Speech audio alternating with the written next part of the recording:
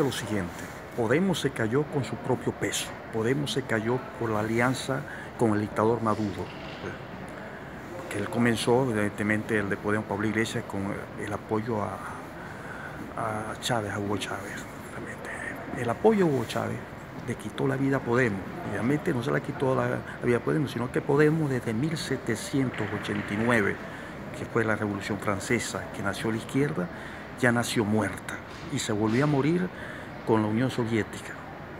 Y se siguió muriendo en Cuba, y se siguió muriendo en Venezuela, y se siguió muriendo en China, porque en China es donde más emigrantes hay, y se sigue muriendo en Corea del Norte, y se sigue muriendo en todos sitios. Podemos es eh, la imagen realmente de la desgracia en España, porque es el primer enemigo de España. Entonces España dijo no. Eso de que me digan a mí de que fueron campañas pagadas, esto no es cierto. Los propios españoles se han despertado porque los españoles se han dado cuenta que están viviendo de la guerra civil, que están viviendo de casi 100 años. Y aparte de eso, se han dado también cuenta que ellos buscan la historia, pero que buscan la historia para su conveniencia, que no dejan descansar los muertos en paz, los muertos que, que murieron eh, enérgicamente, que murieron por la gloria de España, que murieron por todas estas cosas. Estos señores los difuntos deben estar descansando en paz y no ser utilizados para campañas electorales, como hace Podemos, como hace la izquierda. Por eso también vive el Partido Socialista.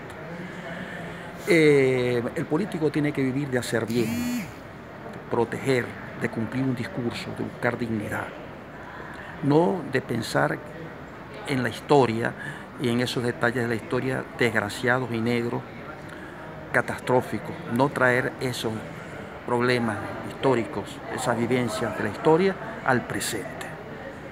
La historia tiene que estar en las bibliotecas, realmente para que sea leída y no se vuelva a repetir.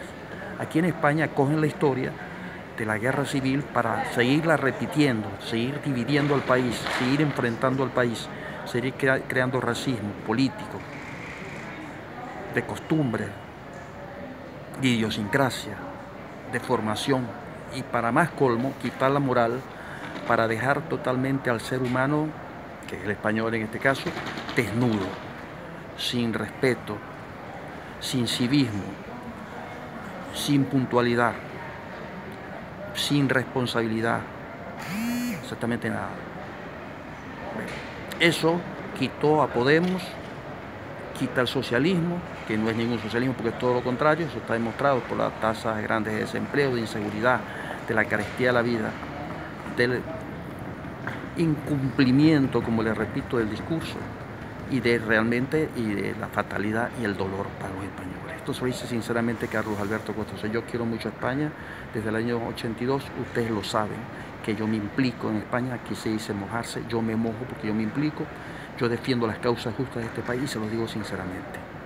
Si ustedes quieren buscar algo así en persona, buscar por Carlos Alberto Agustín en todas las redes sociales, agregar Biblioteca Nacional de España, ya agregar contra el terrorismo, agregar también Real Academia de las Bellas Artes de San Fernando de Madrid, agregar emigrantes, agregar biografía Gracias por su atención. Gracias.